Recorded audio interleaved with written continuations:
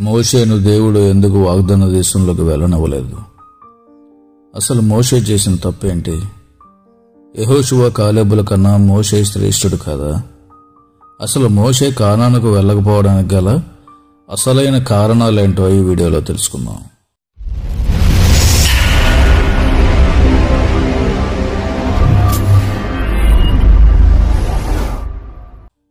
మోషే నా ఇల్లంతటిలో నమ్మకైన వాడని నా స్నేహితుడు అని స్వయంగా దేవుడే సాక్ష్యం చెప్పినటువంటి ప్రవక్త. అటువంటి ప్రవక్తను లక్షలాది మంది ఇస్రాయేలీలను వాగ్దాన దేశానికి నడిపించిన తర్వాత ఆ వాగ్దాన దేశంలోకి నువ్వు ప్రవేశించడానికి వీలు లేదు. కావాలంటే కొండ ఎక్కి దూరం నుండి చూడు తప్ప ఎట్టి పరిస్థితుల్లోనూ ప్రవేశించే అవకాశం లేదని దేవుడు ఎందుకు ఆపారు? దీనికి చాలా కారణాలే ఉన్నాయి. అవేంటో చూద్దాం. మొదటిగా మనం గమనిస్తే మోషే ఇస్రాయేలీలను నలభై సంవత్సరాల పాటు జాగ్రత్తగా నడిపించి ఐగుప్తు నుండి కనాను సరిహద్దుల వరకు తీసుకొచ్చాక వారు సీను అరణ్యంలో కాదేశు అనే ప్రాంతంలో ఉన్నప్పుడు వారు నీళ్ళ కోసం మోషేకు అహరోనుకు వ్యతిరేకంగా ఎదురు తిరుగుతారు. సంఖ్యాకాండం ఇరవై అధ్యాయం నాలుగు ఐదు వాక్యాలు చూస్తే అయితే మేమును మా పశువులను ఇక్కడ చనిపోవున్నట్లు ఈ అరణ్యములోనికి యహోవా సమాజమున మీరెలా తెచ్చితిరి? ఈ కానిచోటికి మమ్మ తెచ్చుటకు ఐగుప్తులో నుండి మమ్మను ఏల రప్పించితిరి. ఈ స్థలములో గింజలు లేవు అంజూరాలు లేవు ద్రాక్షలు లేవు దానిమ్మలు లేవు తాగుటకు నీళ్ళే లేవనిరి. అప్పుడు దేవుడు మోషేతో నీవు బండతో మాట్లాడు అది నీళ్ళిస్తుందని చెప్తే మోషే కోపంతో ఇస్రాయేలీలను ద్రోహులారా అని తిట్టి ఇప్పుడు మీకోసం మేము ఈ బండల నుండి నీళ్ళు రప్పించాలని అరచి కర్రతో ఆ బండను రెండుసార్లు కొడతారు. అప్పుడు ఆ బండల నుండి నీళ్ళు వస్తాయి. ప్రజలు తాగుతారు. కానీ అక్కడ ఎనిమిదో వాక్యంలో మనం గమనిస్తే దేవుడు బండతో మాట్లాడమని చెప్తే మోసే బండను కొడతారు. నిర్గమాకాండం పదిహేడవ అధ్యాయంలో కూడా మోసే ఇస్రాయేలీల జనాంగం కోసం రెఫీదీము అనే ప్రాంతంలో ఇలాగే బండ నుండి నీరు రప్పిస్తారు. రెఫీదీములో మాత్రం చెప్పింది చెప్పినట్టు చేస్తే సీను అరణ్యంలో మాత్రం మాట్లాడమంటే బండను కొడతారు. నిజానికి ఆ బండను క్రీస్తు అని బైబిల్ పండితులు వర్ణిస్తారు.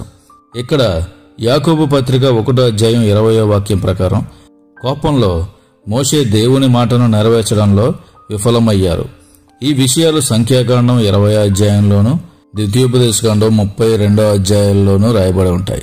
అప్పుడు దేవుడు సంఖ్యాకాండం ఇరవయో అధ్యాయం ఇరవై ఒకటో వాక్యంలో అప్పుడు యహోవా మోషే మీరు ఇస్రాయేలీల కన్నుల ఎదుట నా పరిశుద్ధతను సన్మానించినట్లు నన్ను నమ్ముకొనపోతిరి గనుక ఈ సమాజమును నేను వారికిచ్చిన దేశములోనికి మీరు తోడుకొని పోరని చెప్పాను. అప్పుడే వెంటనే దేవుడు ఆ విషయాన్ని చెప్పేస్తారు.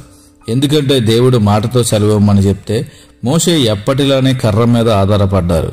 ఎలా అంటే నేలను రక్తంగా మార్చడం ఎర్ర సముద్రాన్ని చేల్చడం బండ నుండి నీళ్ళు తెప్పించడం ఇలా అనేక విషయాల తర్వాత ఆ కర్ర ఇస్రాయిలీలకు ఒక విగ్రహంలా మారకూడదని దేవుడు మాట్లాడమని చెప్తే అక్కడ మోసే ఆ విషయంలో విఫలమవుతారు. ఈ రోజుల్లో కూడా మనుషులకు నీళ్ళు కచ్చీఫ్లు బూడిద ఇంకా వేరే వేరే వాటి మీద ఉన్న విశ్వాసం దేవుని గ్రంథంలో ఆయన మాట మీద ఉండట్లేదు. ఇక నుండి అయినా అలాంటి అవిశ్వాస స్వభావాన్ని విడిచిపెట్టి దేవుని మాట మీద విశ్వాసం ఉంచుతాం. అద్భుతాలు చూద్దాం. ఇక రెండవది ఇస్రాయేలీలకు విగ్రహారాధన చేయడం ఒక బలహీనత అని బైబిల్ గ్రంథంలో మనం అనేక సార్లు గమనిస్తాం. ఐగుప్తు నుండి వచ్చాక దూడను చేస్తారు. అనేక మంది అన్ని దేవతలను ఆరాధిస్తారు. కొత్త ప్రాంతాల్లోకి వెళ్ళినప్పుడు వారి వారి విగ్రహాలకు మొక్కేవారు. ఇస్రాయేలు రాజుల చరిత్రను మనం గమనిస్తే అనేక మంది రాజులు విగ్రహారాధన చేసి దేవుని శాపం తెచ్చుకున్నారు అలాగే మోషే ఒకవేళ కణాన దేశంలోకి వెళ్ళాక చనిపోతే ఇస్రాయేలీలు మోషేకు కూడా ఒక గుడి కట్టి పూజించి శాపం తెచ్చుకునేవారు ఇదే మాటను మోసే ద్వితీయోపదేశకాండం నాలుగో అధ్యాయం ఇరవై ఒకటో వాక్యంలో చెప్తారు. మరియు యహోవా మిమ్మును బట్టి నా మీద కోపపడి నేను ఈ యోర్ధాను దాటకూడదని నీ దేవుడైన యహోవా స్వాస్థ్యముగా నీకిచ్చుచున్న ఈ మంచి దేశంలో ప్రవేశింపకూడదని ప్రమాణము చేశాను. ఇక్కడ మిమ్మును బట్టి అనే మాటకు అర్థం ఇదే. ఎందుకంటే తాపకరమైన సర్పాలు కరిచినప్పుడు తయారు చేయించిన ఎత్తడి సర్పాన్ని కూడా ఇస్రాయేలీలు నెహుష్టాన్ అనే దేవతగా మార్చి ఆరాధించారు. అందుకే దేవుడు కనీసం మోసే సమాధి కూడా ఎక్కడ ఉందో ఇస్రాయేలీలకు కానీ భూమి మీద ఉన్న మరి ఎవరికి కానీ తెలియనివ్వలేదు. దేవుని మహిమను మనుషులకు కానీ మన సొంతానికి కానీ ఆపాదించకూడదనే విషయాన్ని మనం అర్థం చేసుకోవాలి.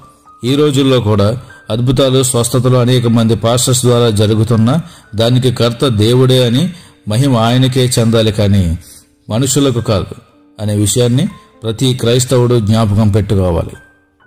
ఈరోజు మీరు కొన్ని కొత్త విషయాలు నేర్చుకున్నారని అనుకుంటున్నాము. మీకు ఎటువంటి సందేహం ఉన్నా సరే కామెంట్ చేసి అడగండి. దేవుడు మిమ్మల్ని దీవించునుగాక.